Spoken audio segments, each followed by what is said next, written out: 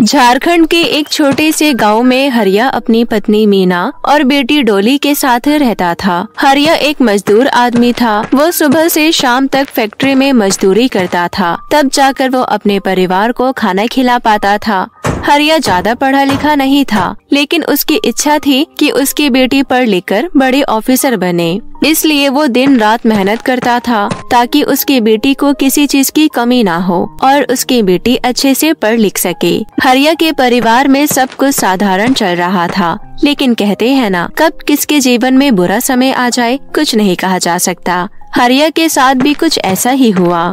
वो जिस फैक्ट्री में काम किया करता था उसे उस फैक्ट्री से निकाल दिया गया। इस वजह से उसकी नौकरी चली गई। हरिया इससे बहुत परेशान था कि अब उसका घर कैसे चलेगा। वो बहुत ही उदास मन से अपने घर जाता है और अपनी पत्नी से कहता है मीना आज मेरी नौकरी चली गई। आज मुझे मालिक ने फैक्ट्री से निकाल दिया।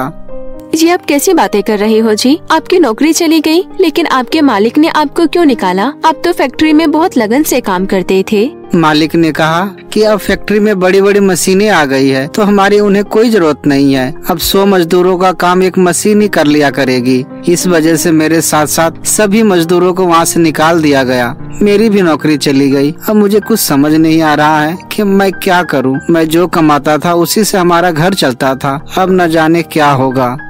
जी, छठ पूजा का त्योहार भी तो आ रहा है। मुझे व्रत भी करना है। तुम बिल्कुल सही कह रही हो। छठ पूजा का त्योहार भी आने वाला है। पिछले साल मैंने डोली से कह दिया था कि अगले साल कपड़े दिलवाऊँगा। अगर इस बार भी मैंने उसे कपड़े नहीं दिलवाए तो वो मुझसे गुस्सा हो जाएगी। मुझे कैसे भी करके कुछ न कुछ काम ढूंढना ही होगा, जिससे मैं अपनी बेटी के लिए नए नए कपड़े और मिठाइयाँ ला सकूँ। कोई बात नहीं जी, आप इतना टेंशन मत लीजिए। अगर आपको छठ पूजा तक कोई दूसरी नौकरी मिल गई तो आप डोली के लिए कपड़े ले आना, वरना कोई बात नहीं। अब वो समझदार हो गई है। हम उसे समझाएँगे तो समझ जाएगी। आप इतनी चिंता मत कीजिए, आप काम ढूंढिए। बाकी छठी मैया का आशीर्वाद तो हमारे साथ है ही। तुम्हारी बातों से मुझे बहुत हौसला मिला है मीना, लेकिन फिर भी मुझे कुछ न कुछ करके जल्दी ही काम ढूंढना होगा। इतना कहकर हरिया बिस्तर पर लेट जाता है। उसे पूरी रात नींद नहीं आती। वो लेटे लेटे सोचता है। अब मैं क्या काम करूँगा जिससे मैं अपना घर चला सकूँ? मुझे तो कुछ समझ में ही नहीं आ रहा।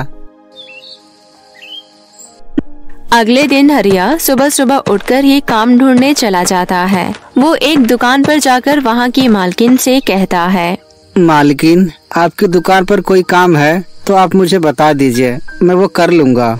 भाई साहब आपकी दुकान पर कोई काम है तो बता दीजिए मैं वो कर लूँगा। अरे नहीं नहीं भैया यहाँ कोई काम नहीं है आप चले जाइए यहाँ से। हरिया को कोई भी काम नहीं मिलता है। और छठ पूजा का दिन भी नज़दीक आ जाता है। वो बेचारा बहुत परेशान हो जाता है। तभी उसका दोस्त सूरज आता है और वो हरिया से कहता है और भाई क्या चल रहा है? क्या बताऊँ यार? मेरी तो नौकरी ही चली गई है। छठ पर्व भी आ गया है। अब मैं अपनी बेटी को कोई तोहफा नहीं दे पाऊँगा। एक काम कर, मैं ना एक सेठ को जानता हूँ। उनके पास चले जा। क्या पता कोई काम मिल जाए। धन्यवाद भाई। तुम उनका पता दे दो। मैं आज शाम ही उनके पास जाता हूँ। हरिया सेठ से मिलने के लिए जाता है, लेकिन सेठ के नौकर उसे अंदर नहीं जाने देते तो हरिया परेशान होकर वहीं घूमने लगता है। तभी बालकनी से सेठ हरिया को देख लेते हैं। वो हरिया को परेशान देखकर नीचे आते हैं और कहते हैं, अरे, तुम ऐसे सड़क पर क्यों घूम रहे हो? मैं काफ़ी समय से तुमको देख रहा हूँ। तुम कुछ परेशान भी लग रहे हो। अगर तुम्हें कोई दिक्कत है तो तुम मुझे बता सकते हो। क्या पता मैं तुम्हारी कोई मदद कर सकूँ? हाँ साहब अभी कुछ दिन पहले ही मेरी नौकरी चली गई है और हमारा छठ का त्योहार भी आ गया है। आपको तो पता ही है, छठ पर्व का त्योहार हम बिहारियों के लिए कितना मायने रखता है। मुझे अपने बीवी बच्चों के लिए कपड़े और मिठाइयाँ लेनी है। मेरी बीवी व्रत रखेगी तो मुझे उसके लिए व्रत का सामान भी लेकर जाना है। लेकिन मेरे पास इतने पैसे नहीं है कि मैं छठ पूजा की सामग्री अपनी पत्नी को दिलवा सकूँ। जिससे वो अपना व्रत पूरा कर सके। मैंने अपनी बेटी को भी वादा किया था कि इस बार मैं उसको नए कपड़े दिलवा कर लाऊँगा, लेकिन मैं उसे नए कपड़े कहाँ से लेकर आऊँ मेरे पास तो एक भी रुपए नहीं है। देखो, अगर तुम चाहो तो मैं तुम्हारी सारी समस्या दूर कर सकता हूँ। दरअसल मुझे तुम्हारे जैसे आदमी की बहुत ज़रूरत थी। मैंने एक मन्नत मांगी थी और वह पूरी हो चुकी है। मुझे अपनी मन्नत पूरी करने के लिए छठ पूजा करनी है, लेकिन तुम तो जानते हो, मैं इतना अमीर आदमी हूँ। इसलिए ये सब मुझसे नहीं हो पाएगा। इसलिए मैं छठ पूजा नहीं कर सकता। और ऐसा कहा जाता है कि हम अपने मन्नत का कार्य और प्रसाद चढ़ाना किसी और से भी करवा सकते हैं। अगर तुम चाहो तो मेरी पूजा तुम कर दो। बदले मैं तुम्हें पैसे और कपड़े दे दूँगा, लेकिन तुम्हें मेरा यह व्रत करना होगा। क्या तुम कर पाओगे? तुम्हें लेट लेट कर घाट तक जाना होगा। साहब आपकी तरफ़ से मैं ये व्रत ज़रूर करूँगा। मैं पूरे विधि विधान से पूजा करूँगा। आपको कोई दिक्कत नहीं होगी। आपकी मनोकामना पूरी हो गई है तो उसकी पूर्ति के लिए मैं ये व्रत ज़रूर करूँगा। आप मुझे कुछ पैसे एडवांस दे दीजिए ताकि मैं अपने परिवार के लिए व्रत का सामान खरीद सकूँ। सेठ हरिया की बात सुनकर उसे तुरंत पैसे दे देता है। हरिया वो पैसे लेकर अपनी पत्नी को दे देता है। पैसे देते हुए वो अपनी पत्नी से कहता है ये लो पैसे। और तुम अभी जाकर सामान लेकर आओ और डोले के लिए भी नए कपड़े ले आना और साथ में पूजा का सामान भी ले आना। इस बार की छठ पूजा हम बहुत धूमधाम से मनाएँगे। हाँ हाँ जी लेकिन आप मुझे बताइए तो आप ये पैसे कहाँ से लाए? इतनी जल्दी आपको इतने सारे पैसे किसने दिए? छठ माता की कृपा से हमारी मनोकामना पूरी हो गई है मीना। आज मुझे एक सेठ मिले थे उन्होंने मुझे कहा कि मैं छठ पूजा का व्रत उनके बदले करूँ। उन्होंने मन्नत मांगी थी, जो पूरी हो चुकी है, पर वो तो अमीर आदमी है तो सड़क पर लेट लेट कर कैसे जा सकते हैं? और न ही उनसे उपवास रखा जाएगा। उनकी तबीयत खराब हो जाएगी ना? इसलिए उन्होंने मुझे कहा है ये व्रत करने के लिए। बदले में वो मुझे पैसे देंगे। ये आप कैसी बातें कर रही हैं? छठ पूजा का मन्नत उतारना तो बहुत कठिन होता है। आप ये व्रत कैसे कर पाएँगे? नहीं पागल, मुझे यह व्रत करना ही होगा। इस व्रत की वजह से तो आज मेरी इच्छा पूरी हुई है। अब मैं ये व्रत तो ज़रूर करूँगा। माता ने मुझे इसका फल पहले ही दे दिया है। अब चाहे मुझे कुछ भी करना पड़े, यह व्रत मैं ज़रूर करूँगा। हरिया जैसा कहता है, वो वैसा ही करता है। अगले दिन वो सुबह उठकर नहा धोकर जल्दी से तैयार हो जाता है और परिवार सहित सेठ के घर चला जाता है और वहाँ से लेट लेट कर वो छठ घाट तक पहुँचता है।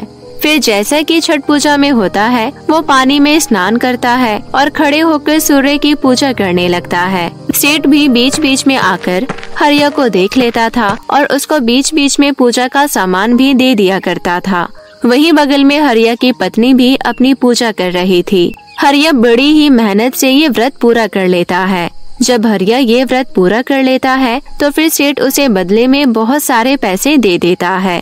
जिसे पाकर हरिया के घर में भी खुशियाँ आ जाती है। उन पैसों से हरिया अपनी एक छोटी सी चाय की दुकान लगा लेता है, जिससे उसकी रोज की अच्छी खासी कमाई हो जाती है।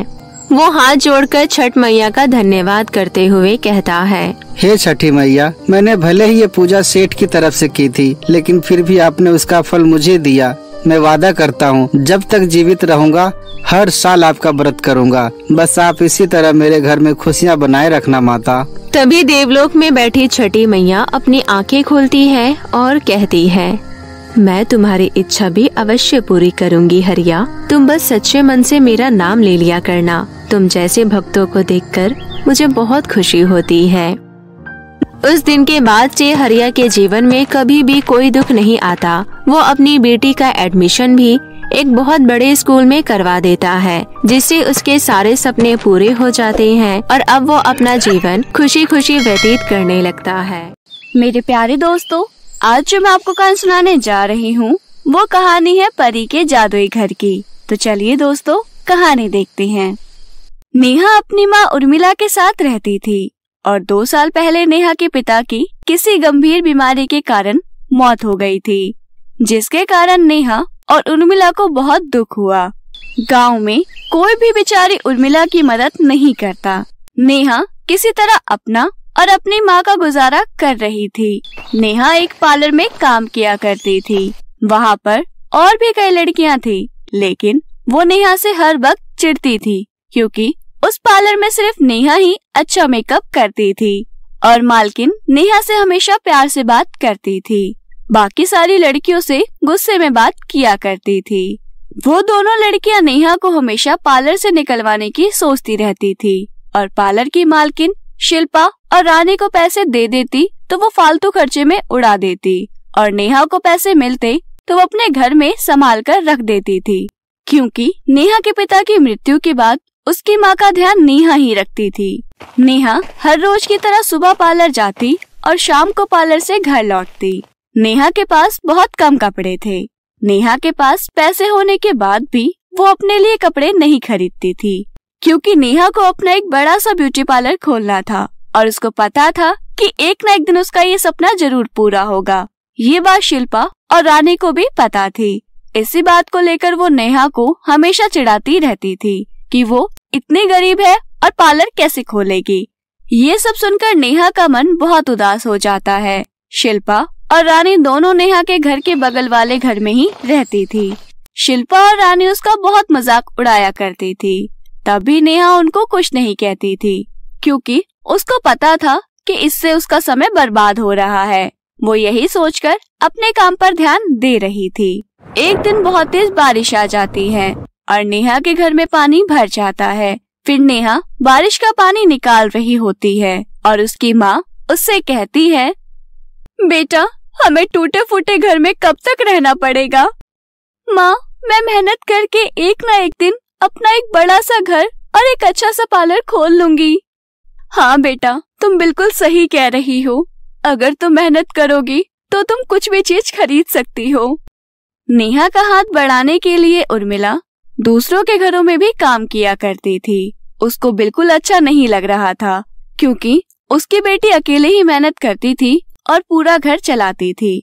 इसलिए उसने भी घरों में काम करना चालू कर दिया। नेहा और उर्मिला काम करके अपने पैसे जोड़कर रखते थे। अब दोनों ही मेहनत कर रहे थे। उन दोनों को ये पता था कि एक दिन उनका मेहनत का फल ज़रूर मिलेगा। ऐसे ही एक दिन उनके घर पर विष्णु नाम का एक आदमी आता है और कहता है उर्मिला तुम मेरे पैसे कब वापस करोगे जो तुमने मुझसे उधार में लिए थे? लेकिन अंकल हमने तो आपके सारे पैसे लौटा दिए थे।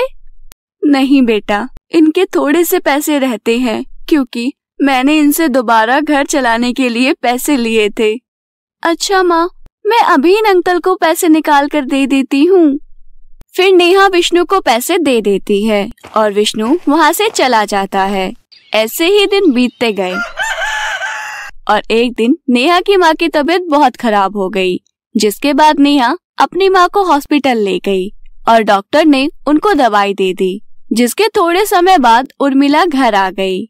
आधे से ज़्यादा पैसे उर्मिला के इलाज में लग गए। माँ, अब आप काम करने नहीं जाओगी, क्योंकि डॉक्टर ने मना किया है। बेटा, लेकिन तू तो दिन रात मेहनत करती है, मैं तुझे ऐसे नहीं देख सकती। मुझे अच्छा नहीं लगेगा कि मेरी बेटी काम पर जा रही है और मैं घर पर ही बैठूं। माँ, मैंने मना कर दिया ना? आप काम पर नहीं जाओगी तो नहीं जाओगी।